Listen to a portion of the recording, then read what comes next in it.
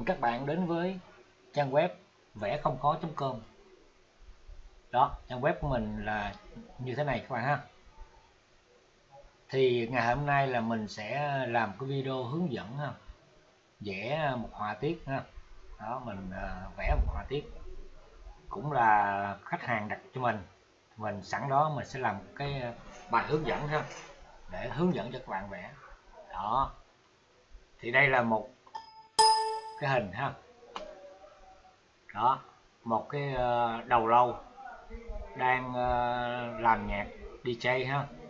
Đó, mẫu này thì mình cũng nói sơ qua các bạn, như là những mẫu trước. Đó là những cái mẫu độc quyền các bạn ha. Chỉ bán một lần và giá của nó khá cao. Thì người thứ hai muốn sở hữu nó thì phải nhờ một người khác vẽ lại ha. Thì ngày hôm nay là mình nhận vẽ lại. Đó thì sẵn đây là mình sẽ làm một bài hướng dẫn cho các bạn ha, để các bạn có thể hiểu thêm ha, hiểu thêm phong cách vẽ như thế nào. Đó, cái lối vẽ này là lối vẽ của người nước ngoài thôi ha. Bây giờ đưa vào đây là mình là người Việt Nam. Mình sẽ vẽ nó các bạn ha. Cũng là dùng phần mềm Photoshop. Khi nào dùng phần mềm khác ha phần mềm Pentulsai AI thì mình sẽ hướng dẫn khác nữa các bạn ha đó. Thì mình cũng nói sơ qua các bạn là ở ngoài link download thì có những cái công cụ brush các bạn ha. Các bạn có thể download về các bạn xài. Trước khi các bạn vẽ thì các bạn chuyển qua đây nè các bạn. Đó chuyển qua đây nè painting ha. Đó.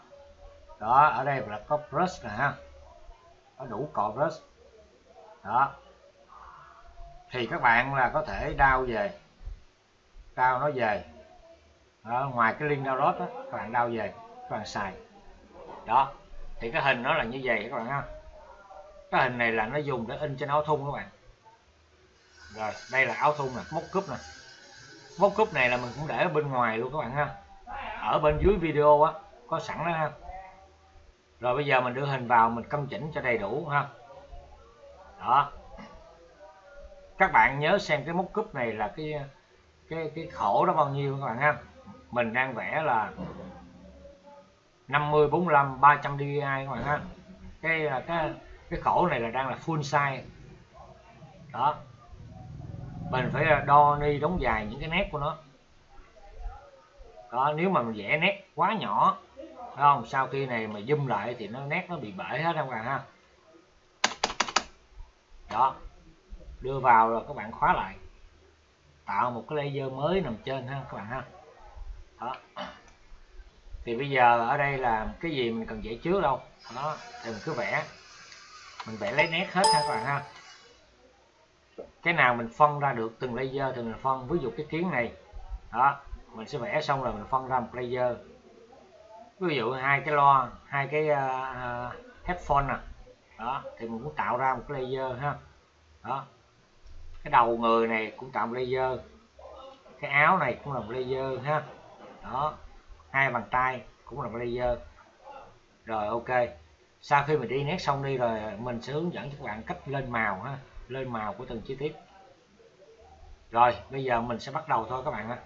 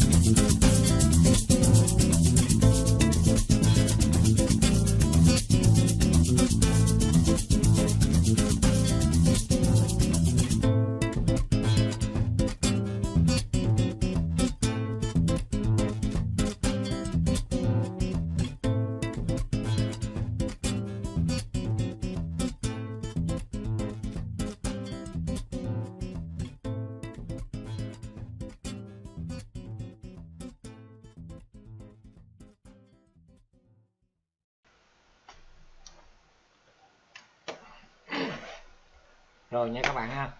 Bây giờ là cơ bản là là nó cũng là được các bạn ha. Hoàn thành đi ha. Thì bây giờ các bạn sẽ là tạo thêm một dùng chọn mình cắt cho nó gọn gàng hơn ha. Đây. Đó mình vào đây. Rồi mình chọn nó. Lấy cái uh, dòng bao. Hình chữ nhật. Đó. Rồi. Ctrl trên shift y các bạn ha. Sau đó mình sẽ cắt. Cắt từ từ ha. Cắt cho nó đẹp.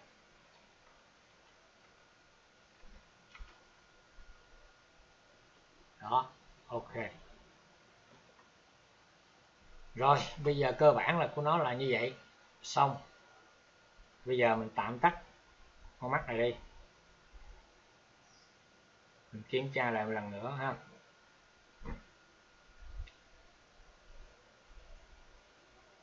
Sách này đi. Rồi. Mình sẽ chọn hết những layer dưới đây. Ship, ha, bấm giữ luôn. Mình đưa nó vào giữa, ha. Đó. Rồi, xong. Rồi bây giờ là mình ờ, mình sẽ sell nó cho nó nhẹ file lại các bạn, ha. Nhưng trước khi sell thì mình sell một cái file cpec ha, các bạn, ha. Bật cái áo này lên. Đó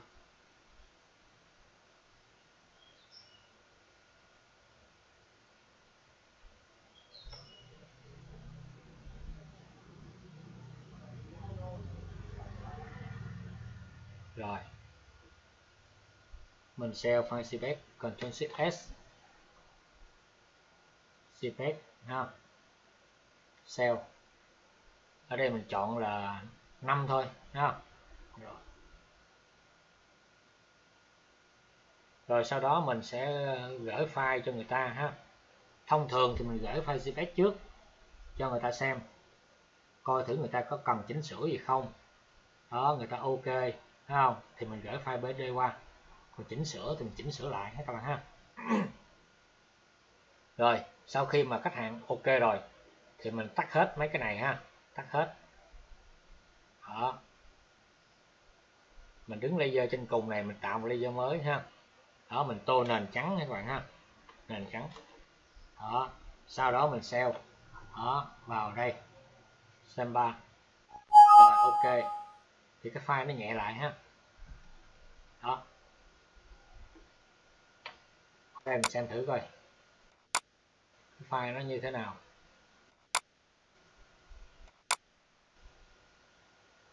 bảy mươi ờ, bảy mươi b ha. Bây giờ mình nén lại một phát nữa.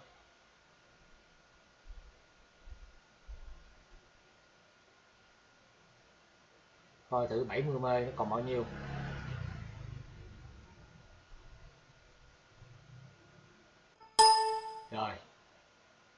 Wow. Còn 29.8 mê thôi các bạn ha, quá nhẹ. Rồi, ok, bây giờ mình quay lại cái màn này thôi, thấy không?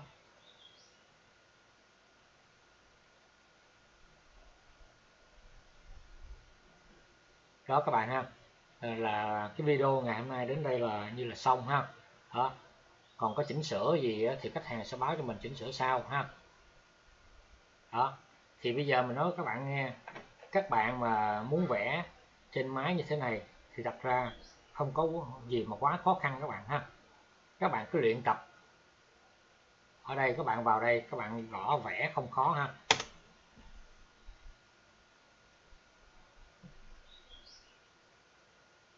Đây, trang web của mình đây vẽ không khó com. Đó. Thì ờ, 14 video căn bản này nè, các bạn mà chuyên tâm mà luyện tập ha. Chuyên tâm luyện tập là các bạn có thể vẽ được sau khi luyện tập xong rồi, các bạn làm quen với phần mềm Photoshop. Đó, ở trong trang web mình cũng có hướng dẫn luôn, thấy không? Cách làm quen Photoshop, làm quen những cái cọ trong Photoshop. Cách thức để mà vẽ, ha? Cách thức để vẽ được như thế này. Đó. Còn các bạn mà không biết vẽ thì là mình không có biết chắc là các bạn vẽ được hay không. Trên máy. Thường thì mình thấy 100% người muốn vẽ được trên máy thì đều phải biết vẽ tay. Ha các bạn ha. Rồi nếu các bạn thấy cảm thấy hữu ích thì các bạn nên chia sẻ ha. Vì chia sẻ thì có những người bạn cũng đang hoàn cảnh khó khăn mà muốn học vẽ không biết, không biết học vẽ ở đâu thì người ta có điều kiện tiếp cận với bộ môn vẽ các bạn ha. Rồi thân ái chào các bạn. Hẹn gặp lại những video sau.